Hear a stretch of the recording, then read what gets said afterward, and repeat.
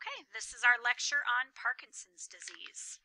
And this will allow us to have definitely more time for some video clips, discussion about both medical and uh, therapy treatments for Parkinson's disease. So let's go through the pathology a little bit first. It does involve the basal ganglia. I think I mentioned that quite a bit when we were talking about coordination deficits. And with the basal ganglia, what we are basically looking at is we have difficulty, of course, initiating movement. Um, it causes the patient to have involuntary movements like tremors. Uh, posture definitely gets affected and muscle tone. And with muscle tone with Parkinson's, it's typically going to fall into that rigidity uh, type of, of abnormal tone that we've talked about. There are basically four classic signs of Parkinson's disease. Now, that doesn't mean that every patient is going to have all four of the classic signs all the time, but kind of the hallmark one that everybody thinks of with Parkinson's is going to be that tremor at rest. And that usually involves the thumb and the index finger, but definitely it can involve other fingers or even the wrist area. It's usually at a pretty fast clip of like four to seven tremors per second when it involves that thumb and that index finger. So, uh, the unique thing about that type of tremor is once the person goes to do a functional task with that upper extremity, the tremor has stopped. It, it just is occurring in a resting state. The second classic sign is going to be rigidity, and we know that that basically means we've got resistance to passive range of motion. Muscles are very rigid, they're almost in a state of contraction, even when the person is at rest.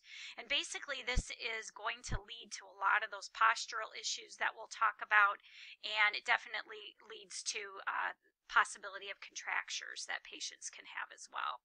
Two types of rigidity that we see would be the cogwheel or the lead pipe. Cogwheel is really jerky, kind of ratchet-like, so if you tried to straighten out someone's elbow who had a lot of rigidity in the upper extremity, for example, what you'd see is you would start to straighten out the elbow and then it would flex a little bit, and then you would straighten it a little more and then it would flex a little bit. So kind of alternates between contraction and relaxation. Lead pipe is the other type, and that's going to be uh, just the opposite. There's just that normal, smooth, uniform resistance, no fluctuations at all. It, it's basically like trying to bend or straighten out a lead pipe. It's just that um, uniform with the resistance with no ratchiness or contraction relaxation alternating itself. That's probably going to be the more common type that you'll see in Parkinson's is the lead pipe. The next classic sign is going to be bradykinesia or akinesia. So looking at that terminology, it's either going to be just kind of a lack of the ability to initiate movement, or it's going to be movement that's really slow. That bradykinesia would be slow, slowness of movement. Um, these patients will sometimes have freezing where movement just stops altogether. Uh, but what you'll really see with bradykinesia and akinesia is that it will fluctuate a lot, maybe from time of the day, whether the patient isn't feeling well, just like tone fluctuates that way, um, you can have periods of time where they have more symptoms of that and then other periods of time where they don't. A lot of that is really medication dependent too. Then there's postural instability, and that can really be the loss of or delayed in our postural reflexes, our balance reactions. They typically begin to develop a very narrow base of support, flexed posture, posterior pelvic tilt, forward head, increased thoracic kyphosis. We'll see a little picture here coming up that, that will really show the postural deficits that you see in Parkinson's disease.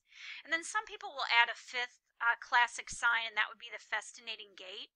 With festinating, we basically mean the speed starts to increase, but the actual stride length would begin to decrease. So they begin to have really short, shuffled steps. Many times um, when you say that with a Parkinson's patient, what's happening is the longer that they go, the faster they're attempting to go. But of course, they're not really making any appreciable distances because that stride length is becoming um, so short, even sometimes like an inch or two for their step length.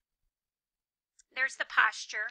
Um, definitely everything kind of moves forward. So it's pretty obvious that most of the time when these patients look up or if they have any kind of balance disturbances from the front side or a posterior balance disturbance, they're going to lose their balance backwards um, more easily than anything else. Studies would show that 10% um, of Parkinson's patients fall about once a week. So you can imagine all the comorbidities that occur because of that as far as soft tissue damage, hip fractures, things like that. Okay. To the cause of it, I already said it's basal ganglia, but there's a, a part of the basal ganglia known as the substantia nigra. And basically what's happening there is the dopamine neurotransmitter is degenerating. You're seeing depigmentation. And so we're seeing degeneration of those neurons that would produce that neurotransmitter. And so that neurotransmitter, dopamine, is what is actually responsible for initiating movement and kind of getting the ball rolling for uh, muscle contraction to occur. So that makes sense that what we see is that delay or that absence of movement. There is somewhat of a genetic predisposition uh, with Parkinson's disease, but it's definitely not just something that's inherited. You may see it more in some families, but it's not one of those things that you can say, okay, mom or dad passes this on to their offspring or anything like that. The other thing that's that it's important to differentiate is the difference between Parkinson's disease and what we would call Parkinsonism. So there's a lot of different disorders that can produce abnormalities um, because of basal ganglia dysfunction. And these people will have symptoms that mimic those classic signs or any combination thereof, but they don't show that depigmentation of uh, the substantia nigra. They actually uh, don't have the Parkinson's disease as we know it. Parkinson's itself, even though we've said there is a little bit of a genetic predisposition, is considered to be of idiopathic etiology, that there is just not one thing that they can say, yes, this causes this person to have Parkinson's disease.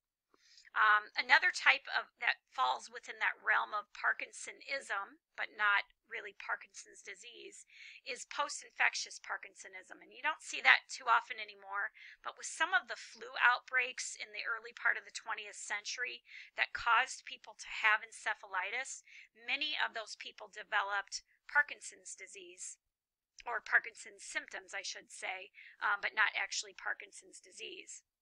Once the flu was improved, if they survived the encephalitis, which back then not as many people did, uh, they were able to, to show uh, pretty much normalized function and return, um, but not necessarily in every case. Then there's toxic Parkinsonism, which is actually a, a, poisoning or it would be exposure to certain um, chemicals, industrial waste like mercury, manganese, uh, carbon monoxide, methanol, etc. Pharmacologic Parkinsonism, certain types of drugs, especially neuroleptic drugs, antidepressants um, in high doses sometimes, and antihypertensive. And it's not that if someone is on one of those medications, they're going to develop Parkinson's, Parkinsonism type symptoms, but it could usually be a combination of several medications that can cause the person to begin to show bradykinesia or slowness of movement or develop that tremor. Metabolic Parkinsonism is caused by hypothyroid problems or parathyroid problems or problems in the body with calcium metabolism. It's pretty treatable as long as that is found out that that is the, the cause of it. And then if you have someone who is having some small strokes, TIAs, that affect the basal ganglia, it only makes sense that they're going to present with Parkinsonism. And in that case, it is considered arteriosclerotic Parkinsonism. Here's some numbers for you. Um, quite a few, 100 to 150 people out of every 100,000 in the population will develop Parkinson's disease. 1% are age uh, over 60. Um, it increases with age, as you'll see there, by the 2.6%. But about one out of every 10 are that young onset Parkinson's disease, and that would be diagnosed before the age of 40. Um, it's been my experience, and I haven't had a lot, lot of young Parkinson's patients, but those that I have had that are younger tend to be the ones who develop a lot more severity um, with some of their symptoms at, a, at an earlier stage when they develop it early. So um, they also tend to be more the type that get like the dystonias and the abnormal movements, more so than seeing uh, things like the tremor at rest and um, also showing the festinating gait. You don't, don't generally tend to see that as much in the younger populations with Parkinson's disease. Medical management, uh, medications are super important in Parkinson's disease. And just like with any type of medication, after a while, you may just need to be on a little bit of a drug holiday, take a break, revamp, have the neurologist kind of redo what medications that you're on. Probably the one that you would recognize the most out of that list of three there would be Sinemet. Um, it's it's kind of considered the classic. It's been developed and changed over the years, but most patients with Parkinson's disease are on Sinemet or some form of it. Um, you could also look at things like deep brain stimulation, um, actually stem cell implants in the basal ganglia, and then surgical intervention. And rather than talk about that now, we'll watch a couple uh, video clips that kind of talk about some new, um, new and, and evolving medical treatments that are on the horizon for Parkinson's. So here's where we get involved a little bit more because here would be the physical symptoms and the clinical things that we see, uh, which really warrants that PT has to get involved in seeing these patients. So when patients begin to have difficulty with their basic activities of daily living, just getting in and out of bed or chairs, um, being able to write, sign their name, getting dressed, cutting up food, just all of the basic stuff that we have to do from a day to day basis, um, when that becomes affected, we definitely need some intervention. Rigidity, um, we all know what things that can cause as far as decreased range of motion, poor posture. Um, it can begin to affect the facial muscles, the chewing, the swallowing muscles, which will make it very difficult for patients to eat, um, keep food in their mouth, be able to swallow appropriately. You may have uh, difficulty with that, or you'll see patients that have a little bit excessive drooling because they just can't um, keep up with, with the amount of movement that's needed in the facial and the jaw and the swallowing muscles and things like that. Um, you'll definitely see the tremor. Um, it can usually be pretty well controlled on medication, but hand tremor and that pin rolling that I talked about are the most common, but you can see the tremors in other places and you can even develop a postural tremor with Parkinson's disease. Speech will usually also see Parkinson's patients for decreased breath support um, because those patients tend to have those postural issues. What happens to their uh, voice is that it begins to become very monotone. It's very soft. Um, it's very difficult for them to get the to get the words out sometimes um, in a manner that they can carry on a conversation, or they're talking at such um, a low volume that it's difficult for people to hear. And so we're going to talk a little bit um, in class about the Big and Loud program. Uh, the big program is more the physical therapy aspect of treating Parkinson's disease, and the loud program is the speech pathologist uh, way of treating Parkinson's disease. Um, the rigidity can affect facial muscles. So what you might see with uh, Parkinson's patients is they have almost what we would call a mask face. They don't drink, or, I'm sorry, they don't blink um, as often as what normal people would blink or people without Parkinson's would blink. They kind of have a lack of expression on their face. Um, and again, it's, it's just due to rigidity and muscle tone that's affecting those facial muscles. Postural problems, I think I've already talked about that. Your biggest thing that becomes limited with patients with Parkinson's, and it has a lot to do with that rigidity of the trunk, is that they lose rotation.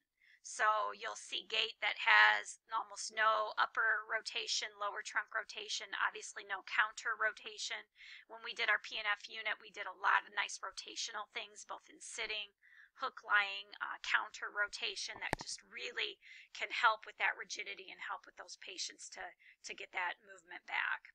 Uh, the postural issues and the rigidity can start contributing to some kind of spinal pain, whether it's low back, neck pain, balance problems occur. Those strategies are very delayed. Um, the posture itself, as it is worsening over time, it's going to make balance worsen over time as well. And then coordination problems make sense uh, with the area with the basal ganglia also be affected and with the rigidity that they're going to have a lot of difficulty even with reciprocal movements of the upper extremities and the lower extremities. Commonly, what we see for gait deviations for Parkinson's disease are going to be really shortened stride length. Um, the steps become very shuffled. Foot doesn't even come up off the ground. You'll get foot flat at initial contact, no heel contact um, as the first part of gait. Step height obviously is affected then too, so it's just like they're shuffling along the floor. Um, that makes ambulating on carpeted surfaces a lot more difficult for these patients as well. You won't see a whole lot of arm swing. Um, that has to do with that reciprocal movement. uh, when we add a walker into the mix, that obviously takes away the arm swing as well. What you'll a lot of times see with those Parkinson's patients is that when they turn, this is when they get into a lot of trouble. You could have a patient that's tooling along pretty nicely in a straight uh, path down the hallway, and then you need them to take a left hand turn. And this is where sometimes the freezing of movement will occur as soon as they've got to turn that corner.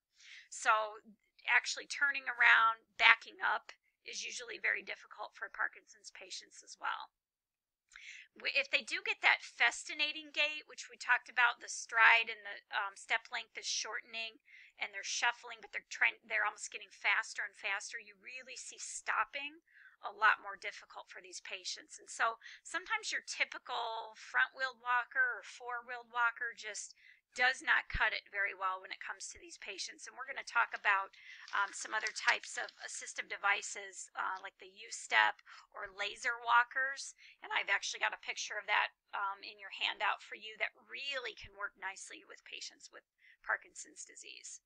Um, we'll also see where they may accelerate, and, and I talked about festination, but we can actually have that both in a forward direction or in a backwards direction. So they go to start to back up, for example, to the chair, and they begin to go a little bit faster. Acceleration increases, and they almost fall backwards into a chair.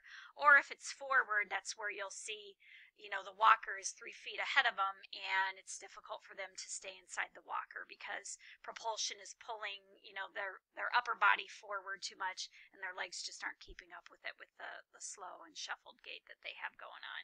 So the laser walkers are actually kind of designed to help the patient have that visual and that proprioceptive input as to where they need to be in relation to their walker. So we'll talk about that as well. There's just a simple example of visual cueing. Maybe you want floor markers, how far that step length can be. That is really the premise of the big program that we'll talk about and we'll watch a couple video clips on. Um, everything needs to be big movements and that's, that's the whole idea with it and providing those visual or proprioceptive cues for Parkinson's patient is, is really, really helpful. Okay, I already talked about festinating. And festinating, you know, what the hallmark of that is yes, the speed, the acceleration is increasing, but what's happening when it's festinating is that the stride length is shortening. That's different than when we said retropulsion or propulsion. Um, with the postural issues, we start seeing decreased extension at the hips, knees, ankles. Basically, everything is kind of becoming flexed forward. So eventually, if hip flexors tighten up, then we got hamstrings tightening up, and then we have a patient that doesn't even get full knee or hip extension when they're standing up. Decreased speed for sure. Already talked about that, and then the heel toe progression is obvious. If you're if you're shuffling and you're coming in foot flat, you don't have any heel heel to toe progression during the gait cycle. Indirectly, we'll see that patients fatigue pretty easily with Parkinson's disease. We'll see that the flexibility is decreased. We'll see that they can sometimes develop contractures. They're usually very stiff in the mornings um, if they've been laying in one position for a while, sleeping at night, and that type of thing. Blurred vision comes about in some of your patients, but not all of them. And then about a third of your Parkinson's patients will actually develop what we would say is Parkinson's dementia, um, where they begin to get cognitive, behavioral changes, and sometimes a lot of symptoms of depression as well.